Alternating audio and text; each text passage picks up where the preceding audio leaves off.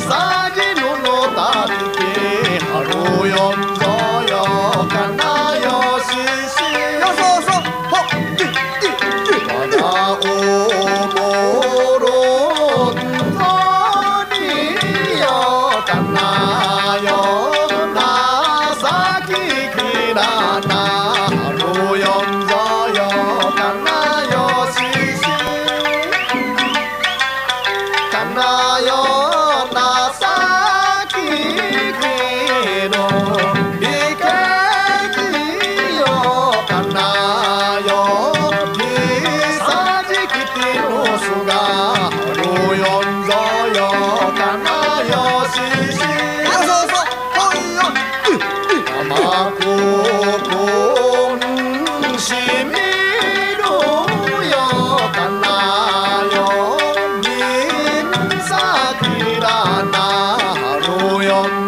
yo, it